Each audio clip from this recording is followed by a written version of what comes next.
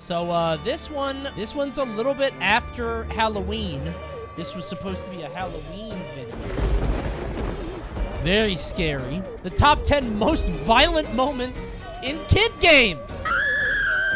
Mario, no! He's drowning! Let's enjoy. Oh yeah, I forgot he had eyeballs. list, we're looking at very Frogger? number 10, Squared Away, Mario Party 5. what? Do you just get crushed? Good this game looks impossible to win. Most of the series mini For the games have kept a lighthearted atmosphere with its ultra-competitive undertones. However, the fifth main game features a grisly ending in one of its minigames. Oh my god! You can see their final moments as the player or players trip and the stampede catches up to them. Why do they fall? They could just keep running out of frame. Bro, why do they have to trip? They try to get up. Look at this. Oh god. Help! Wario, I love you!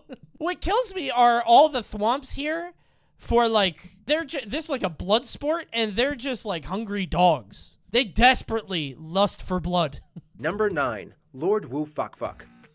That's not what it says. Why'd he say that? Thack fack. Fuck Fuck. No. Wu Fuck Fuck. What the? Okay. Banjo Tooie. I, I almost I almost fell for his influence. I almost did it myself. Whether you're using explosives or regular old eggs, which shatter pieces of eggshell, you have to admit Lord Wu Fuck suffers from the worst downfall of any Banjo Kazooie villain. Uh, I think Mr. Patches blows up. Weldar literally explodes. Bro, bro just name dropped Weldar in the chat. we know Weldar. Number one Weldar fan. I hated Banjo Tooie. But Banjo Kazooie doesn't have good bosses either. They have like a bunch of boxes in Rusty Bucket Bay. Tooie is better than the first game. Mods! Clean up my fucking chat. Get them out of here. Shitty ass game. Number 7, Popping. Little Big Planet series. I thought that said pooping. Kinda looks similar. oh my god! But the process of popping doesn't look comfortable in the slightest.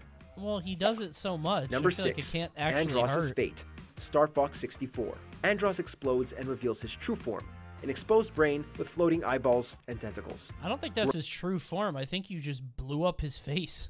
if somebody ripped my face off, that wouldn't be my true form. I would just be mauled. It's at this point of the fight that you'll have fuck? to shoot not just his eyeballs, I would be an but his assault cerebellum victim. as well. What? Headaches and sore eyes are already annoying to deal with. This, on the Fox other hand, says it's his true form. Fox is an asshole. What a piece of shit. That's not his true form. You blew his head off. What the fuck? It's like you knocked somebody on the head with a hammer and then they have a dented skull and you're like, ah, your true form. No, you just fucking, you need, they need to go to the hospital. What the fuck? how was Andross Good not lord. screaming in agony with every hit we landed? Yeah, that's like his nervous system, right?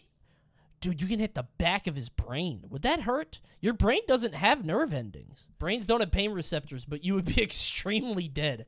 Depends on where you hit, right? Shredded amphibian. Frogger. You just get run over. Oh my god, look at that frame rate. It is possible to die from a lawnmower, no surprise, and when Frogger succumbs to it, he is shredded into hundreds of polygons. Oh. This one is arguably the most graphic death in the whole franchise.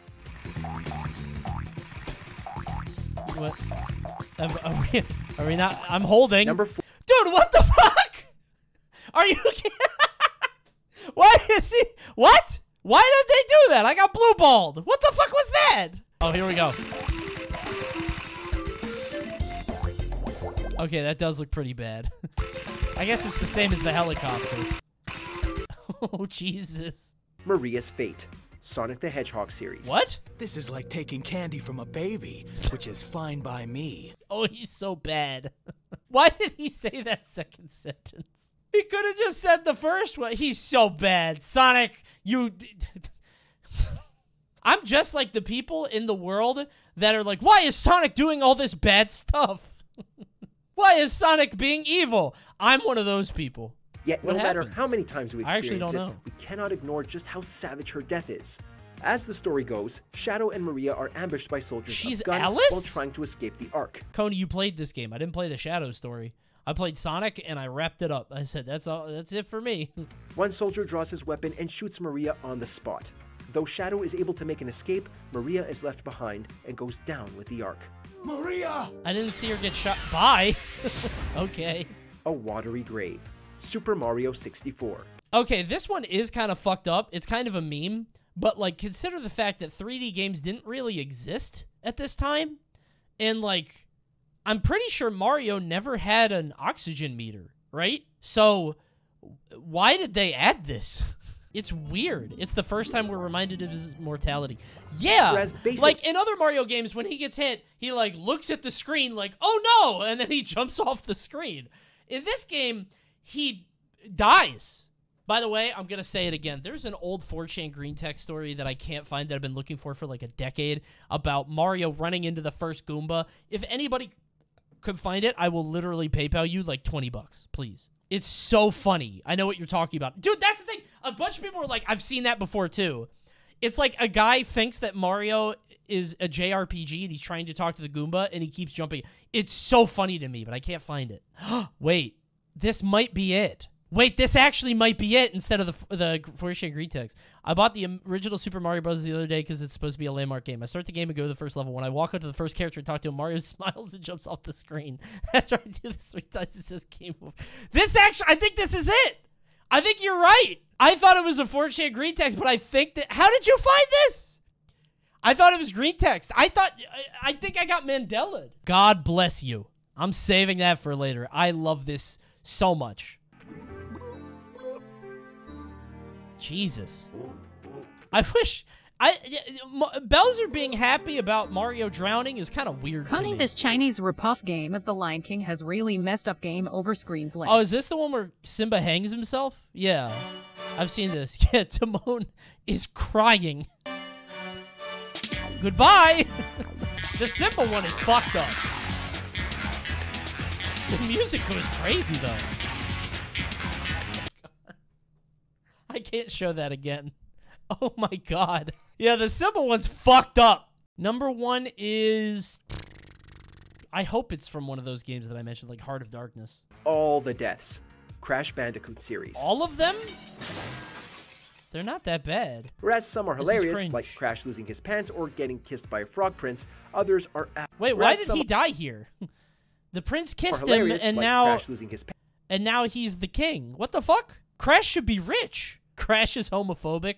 That's true. He definitely is, actually. Crash's outfit screams homophobia. crushed by columns, eaten alive by vicious plants, roasted into a pile of ash, vaporized by lasers, frozen in Arctic waters. I forgot the later games are kind of fucked up. Crash has been through it all. And those deaths Yeah. are just the tip of the iceberg. Horrible deaths have become such a staple of Crash Bandicoot that they were turned into a collectible for Crash Tag Team Racing, and the ones featured there are some of the most brutal in the franchise. What? Collectible? Oh my god! Okay, that one's kind of fucked up. Seeing Crash in 3D like that, get his chest blown out, is a little different, I guess. All right, I want to see more of though. No, no, no, no, no! Don't look at that. Almost got demonetized. I clicked the pause and I clicked on Rick's head exploding. Oh God! Wait a minute. Did we watch this? I feel like we already did. Is number one is mosquito? Yep. So it's a fucking- I have clicked on that video like eight different times, and every time I say. I think number one is mosquito, and every time it is, this is the same video. I've clicked on it so many times. I just keep clicking on it. I alone am driving up the animal content on Watch Mojo. They're like, damn, people really love this stuff. now, every once in a while, I find a movie that I have to click on based on the thumbnail. Top 10 worst named as seen on TV items. And the thumbnail says dump meals. For this list, A we're what? looking at products Oh, the teddy bear! advertised in infomercials with The teddy bear so is great, though. The teddy bear is a good idea. You'd never find them in stores.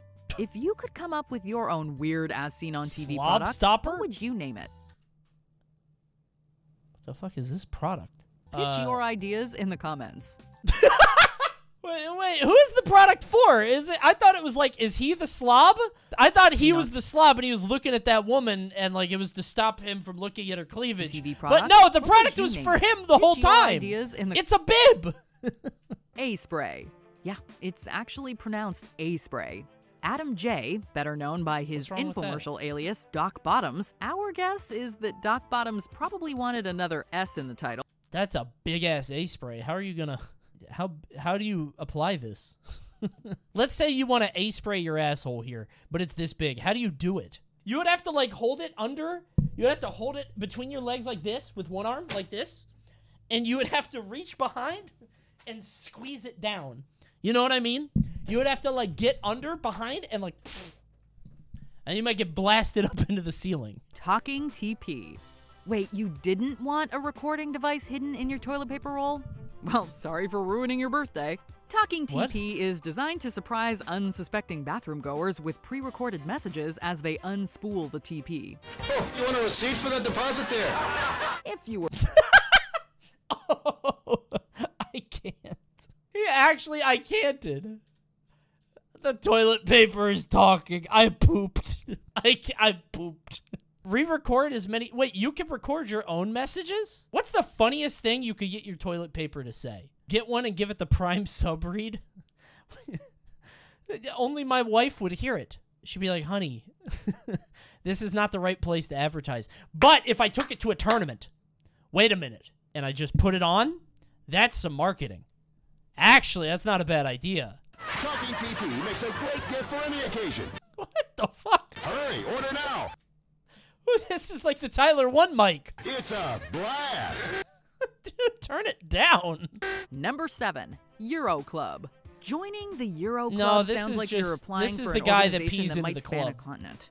However, We've seen this before. Some- Yeah, you pee into the golf club. Duh. It's not. It this just just feels like another shitty as seen on TV product video. I thought this was about the names. Yeah, he. Pee- All right, I may have seen this before, but this never gets old.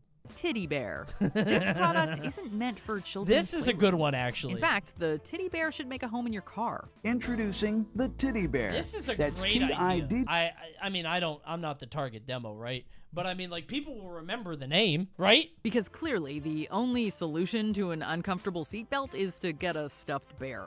While this product's name seems totally inappropriate, it's actually quite innocent. I think and it's could great. even provide comfort to its users. Very The cute. titty bear- And and titty bear makes sure that people remember it. That's a good idea. Does Booty what it suggests Oh, this on the is like tin. a oh, it's like a push-up bra for your butt. We've seen this before too. Boring. Give me a new one. oh no, this guy again. He just can't catch a break. Get him a fucking bib. It's not embarrassing enough to have to No! wear Oh my god. That's a disaster. Dude, get it together. That's so rich and chunky.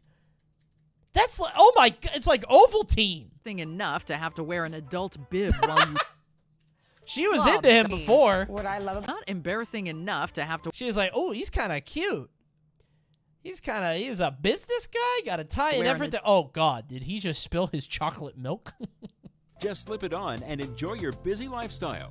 the slob stopper is a product of oh hell yeah. Now that's a guy who cares about his appearance. The name is great. Stopper. Bibs aren't just for babies. before we unveil our top pick. Here are some The honorable Happy Hot. Dog Man. Happy Hot Dog Man. How are you supposed to guess what this does on the name alone? It's the Happy Hot Dog Man. I, I think I could guess. Push. What's meant to be an innocent chest pillow sounds not entirely legal. Uh-huh. Introducing Cush, the comfortable nighttime companion. Number one, dump meals. Really? We spoiled it in the thumbnail, huh? I forgot this didn't come up. Nothing is more appetizing when talking about food than the word dump. If you need Ugh. dinner on the go and want to scare off guests by the name of your cookbook, then Dump Meals is the Stop. product for you. I don't like dinner just got easier with my new cookbook, Crockpot Slow Cooker Dump Meals. I, you know, I thought it was like something that like a corporation came up with. But Kathy Mitchell seems to really believe in the dump meals, the philosophy. She really, she pushed this. It's Wow. a, it's a pretty good idea, right? You just put shit in the pot and, well, not, You put stuff in the pot and then you Well, the you wait. The idea is that these Meatballs. I don't like dump. That's quite a dump. Buydumpcakes.com. Now that sounds like a porn site. sells a collection of Dump cakes? cakes as well. Hi, Kathy Mitchell here with my new dump cake cookbook. Okay. By this point, by this point, Kathy Mitchell is is all in on dump cakes and on dump meals. She knows what she's doing here. Listen to the the timbre of her voice. Hi, Kathy Mitchell here with my new dump cake Dump cakes. cookbook. She just likes the word dump. Did you enjoy this video? It was okay. Like most Watch Mojo videos. These are the top 10 most dangerous challenges in Survivor. I can't wait. Here's something that won't kill you. Exactly what I want to hear before I'm about to get face slammed by Rupert. Whoa! Ooh. Oh my god, what the fuck? Oh my god, onto the pole? Jesus. Ooh. We have seen torn tendons arise, dislocated shoulders, bruised bodies with elbows to the face. You charge someone Oh my with God! bag and pummel them. Bro, what? Bruised bodies with elbows to the face. You. he did a flip and he just kept going. where the players endure hanging onto a pole roughly 13 to 15 feet high, and the last player hanging on wins. Oh, God. Both challenges pose inherent risk. Oh, in my which, Cassie, God. You're falling, hoping wherever and however you land is sufficient enough to work out. And Yeah, now that I'm looking at it, it's kinda saw one fucked up. player break their wrist after they did not Oh! follow the correct form. Although, if you rewatch the challenge, like half the cast didn't follow instructions and could have had a similar result. How do you. Here goes the lead. What? Why is he wearing a fedora? And what's more, these massive balls on Survivor Oh, were no. between 600 and 700 pounds, even more than what Indy was Oh running from my in the God. movie. That thing gets you, you're going to feel it for quite a while. Jeff, get And out of the seen it bump way. Why in is. Jeff That in the front? Oh, he think he Indiana Jones, you- bro. He think he in the movies. Oh, you're- Jeff thinks he's in the movies. Oh. oh my god. bumped, bruised, battered, beaten, broken, and ball busted. Anything and every bruised, battered, beaten, broken, and No way. Dude, I would sue. Everything else I would be fine with. If I got hit like this on national TV, millions of people watching, I would sue for damages.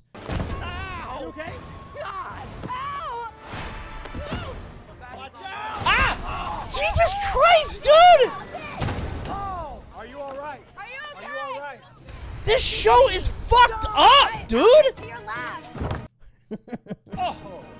The one spot you want to avoid, LJ just took it square on. Shut up, Jeff! you fucking monster! Jeff, cancel the show! Jeff is Coney if he had a game show.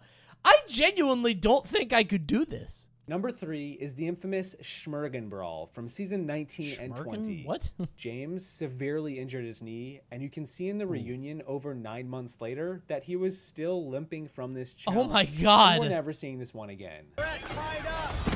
This is gonna be physical. Russell hanging with He got voted out for it too. Wait, so he fucked up his leg and they're like, we gotta get this guy out of here. He's of no use to us. I can't believe we watched. Did he kick him? Oh, my god! That's a straight up kick. Fuck! Stop! Stop! How can they put this shit on TV? You can do all this shit on TV but can't show a boob. Yeah, I think Europe has it right. Herpes induced mouth cuts from the pork eating in South Pacific, the zip line of possible death from Cook Islands, and of What? course, last but certainly not least, the, infamous Dig It challenge from season 32 that nearly cost Caleb his life. What? How you feeling, Deb? I'm having a stroke. Jesus Christ, dude. Medical. Take a look at Caleb too. This is Caleb getting Jeff is like a fucking ringleader. How can Jeff be on season after season of this? Jeff is fucked up, man. Survivor reached to make this one a reality where three players were strapped to a rotating wheel and had to get submerged upside down in a water trough to collect a mouthful of dirt water, only to then spit it out at the top to fill up a tube. The producers essentially created a torture device and then asked, how do we make this into a tribe challenge where everyone can partake in the fun? This is this is literally torture. Please let me down. Jeff. Jeff, what were you thinking? This is Do crazy. accidentally drown. When the bar is set at drowning due to being stuck strapped into a giant especially because you can't you've stop it. The ultimate. Here's something that probably won't kill Oh my God, dude! Survivor history. Because they control it so you could just get fu- There are three people on it? I didn't know it. I thought it was only one person. Jeff has to get off on this shit. Jeff is fucked up. This is some shit I would see on a medieval painting of hell. Yeah, I feel like I would see a picture of this in like Amnesia. like when you're taken to the dungeons and the monsters are walking around and you look around at the walls. You see the survival wheel, you know? Oh my god, dude. Those are my top 10 most dangerous. That's a good top 10. Check out Peridium. Thanks for watching, everybody. What was your favorite number thing? There's like 10 things for each thing. So te- comment below. We'll see you next time. Say bye, YouTube. Goodbye. Goodbye. I would tell you to subscribe, but I'm already at 100K. I don't need to tell you to do that anymore. Because the next benchmark is like 500K. I will never hit that. Goodbye.